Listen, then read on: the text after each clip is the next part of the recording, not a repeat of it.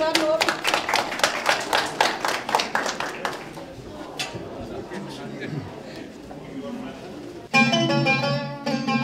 En kunstudstilling på biblioteket i Sønderborg viser flygtningeskæbner og taler med stærke motiver, ikke mindst til danskerne. Udstillingen påvirker oplevelsen af flygtninge som en navnløs gruppe til personer og mennesker med et inderste håb om frihed.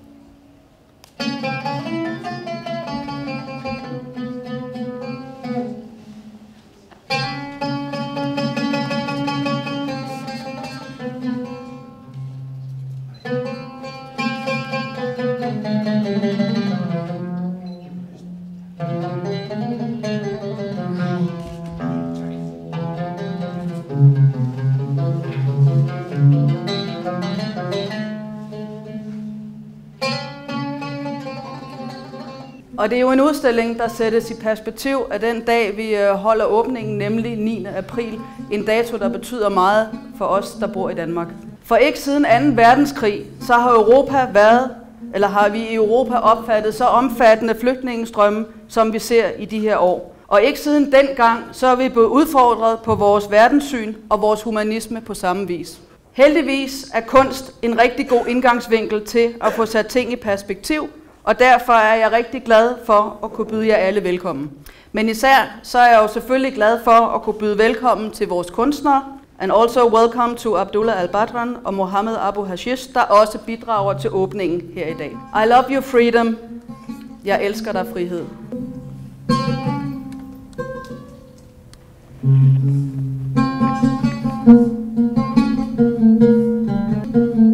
تبا لسؤال يسكنني هل لي الحق بأن أسأل؟ من قال بأنك شرعي وبشرعك تسأل لا تسأل. وبأنك أهل للسلطة وخرابك زاد عن الأول. تبا لسؤال يسكنني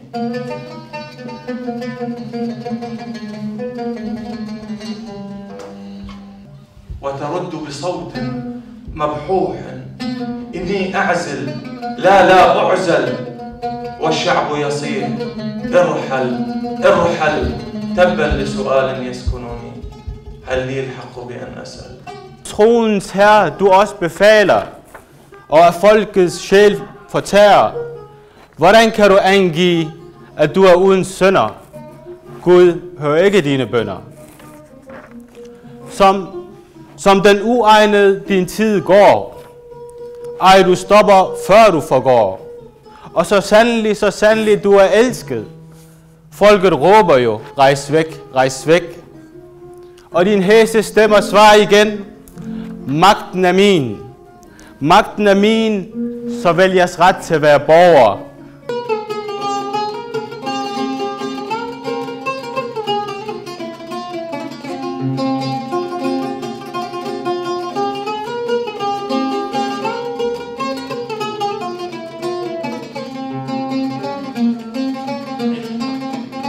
Formålet med projektet 180 øh, graders integration er egentlig at bringe danskere og indvandrere tættere sammen. Det er et projekt, som er kørt øh, med otte andre biblioteker, som er blevet igangsat af Kulturstyrelsen. Og hver bibliotek har så haft deres egen øh, lille projekt. Projektet her på Sønderborg Bibliotek er mundet ud i en oplysningskampagne i form af en kunstudstilling. Og den her kunstudstilling har to øh, vigtige budskaber i sig. Det ene budskab er til den danske lokalbefolkning, vi har her i Sønderborg, hvor vi prøver at give dem et billede af, hvem er de udlændinge, hvem er de asylansøgere, vi har her i byen, hvor kommer de fra, hvad er deres historie. Simpelthen få sat ansigt på de her mennesker, så man kan relatere sig til dem, så det ikke er flygtningemasse, vi snakker om, hvor det er ansigtsløse mennesker, som vi kan forholde os til. Og så på den anden side, så vil vi gerne gøre flygtninge og indvandrere mere opmærksom på, hvad vi alt kan her på biblioteket. Vi kan vidensdele igennem DVD'er, bøger, men også gennem en kunstudstilling. For kunstudstillingen måske det, den vil være en anderledes en, en afhandling, for den, den giver noget dybde og nogle følelser i det, øh, den, den kommer med. Så det er egentlig bagtanken bag, bag det her projekt. Når det her projekt er slut på Sønderborg Bibliotek, så har vi en ambition og et håb om at, at besøge de otte andre biblioteker, som vi samarbejder med, men også at vi kan få lov til at besøge de byer, der har fået etableret et asylcenter. Så jeg håber det er, at det bliver en vandreudstilling, som rejser Danmark rundt. Bagtanken bag at lave øh, den her kunstudstilling var netop, at vi havde et lokalt behov om oplysning. Vi fik etableret et asylcenter her i Sønderborg for et år siden, og der kom meget opmærksomhed omkring det her asylcenter. Så det var for en måde at, at tilgodese det her behov i Sønderborg omkring oplysning, der gjorde, at vi, at vi, at vi har lavet en kunstudstilling. Nasser er med i det her projekt, fordi at han er, er en stor kunstner, både i Irak og i den arabiske verden. Han har tit udstillet her på vores bibliotek, og det, der har gjort ham til en spændende samarbejdspartner, og en, som vi meget gerne vil trække på, er, at han har oplevet det at være flygtning. Han har på grund af sin øh, kunst øh, tilbage i Irak blevet forfulgt politisk. Han har været i fængsel. Han har blevet udsat for tortur. Han er flygtet fra landet, og nu lever han sit liv i eksil.